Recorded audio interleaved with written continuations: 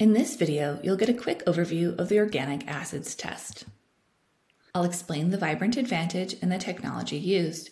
Then I'll walk through each section of the test, highlighting key features. I'll also suggest complementary tests and end by summarizing the key takeaways and where to go for additional information. Organic acids are byproducts of cellular metabolism.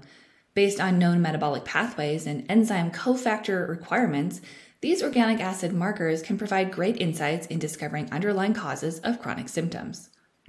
The organic acids test provides a snapshot in time of an individual's biochemistry.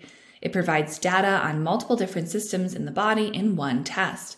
Some of the important categories assessed on this test include energy metabolism, mitochondrial function, fat metabolism, nutrient deficiencies, glutathione status, toxic exposure, oxidative stress, methylation status, salicylate metabolism, oxalate levels, neurotransmitter end products, and microbial overgrowth from bacteria, clostridia, yeast, fungus, and mold exposure. Organic acids testing can aid advanced providers in the detection of many underlying imbalances in chronically or acutely ill patients with complex illnesses. It can serve as a great first assessment test for individuals who have multi system symptoms, complicated presentations, or prefer urine collection instead of phlebotomy. Alongside other diagnostic testing, organic acids profiles complete the clinical picture of root cause and guide practitioners in developing the most individual and effective interventions. Vibrant's Organic Acids test is an easy at home urine test. Patients need only collect their first morning urine. To avoid dilute samples, avoid drinking more than 8 ounces of water one hour prior to urine collection. And to avoid falsely elevated markers, patients should also avoid apples, grapes, pears, and cranberries, mushrooms, and ribose supplements 48 hours before collection. The Vibrant Organic Acids test uses gas chromatography tandem mass spectrometry, or GCMSMS, for quantitative detection of organic acids.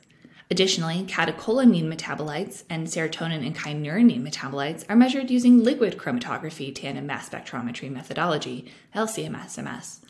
These are powerful analytical techniques that combine the separating power of gas or liquid chromatography with the highly sensitive and selective mass analysis capability of triple quadrupole mass spectrometry.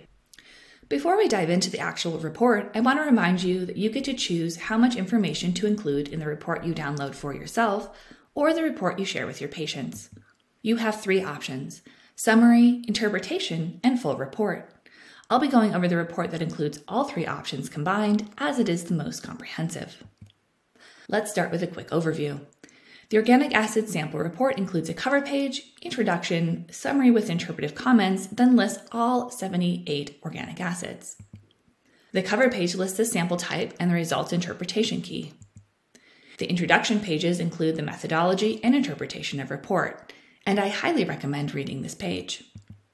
Especially the part of the introduction where it says, reference ranges have been established using a cohort of 1,000 apparently healthy individuals, and also the part where it says, the level of organic acids has a green or red highlight around the cell indicating the corresponding result based on the reference range of each organic acid.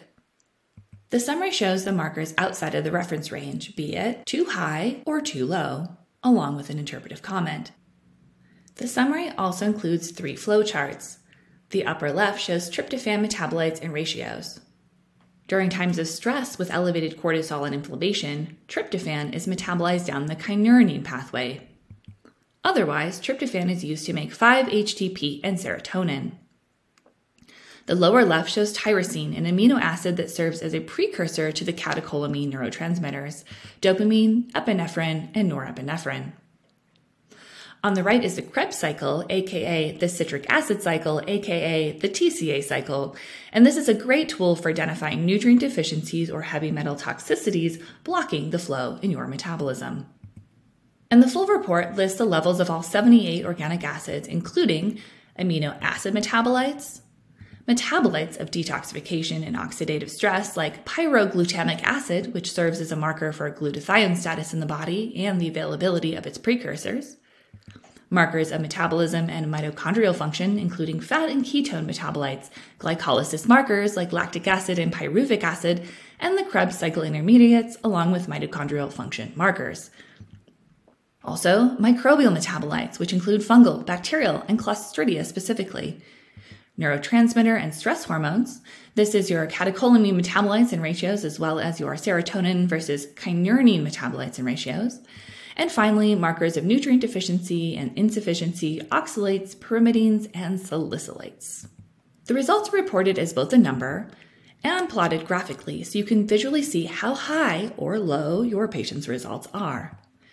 If you want to learn more about the organic acids outside of the reference range, simply scroll back to the report summary to read the interpretive comment.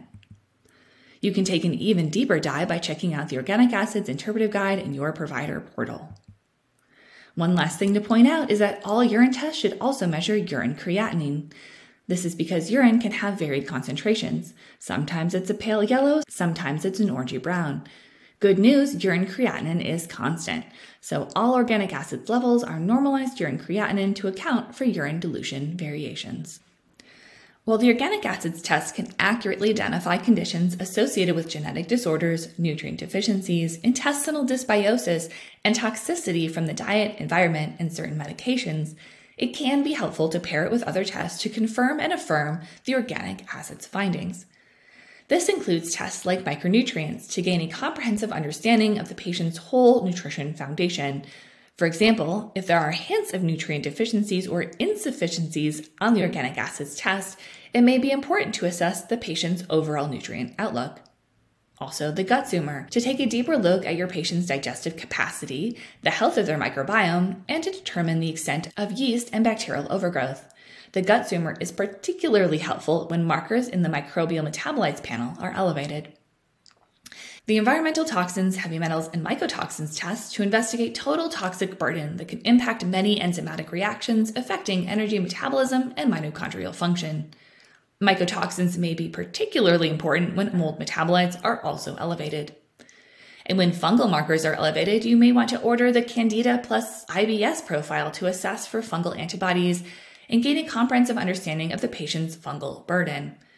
And finally, consider the neurotransmitters test to get a comprehensive understanding of neurotransmitter imbalances, particularly if neurotransmitter metabolites are out of range. In conclusion, the organic acids test measures 78 organic acids, providing insights in discovering underlying causes of chronic symptoms, such as fatigue, muscle weakness, confusion, poor memory, digestive dysfunction, eczema, and hearing, speech, or visual impairment.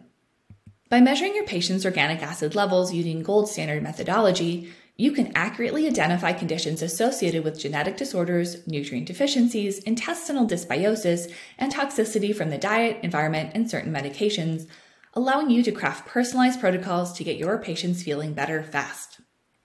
To learn more, visit the link in the video description, and if you can't find it, you can use a QR code or a URL on this page to visit us. If you have any questions, please ask them in the comments below this video. Thanks for watching, and I hope you have a vibrant day.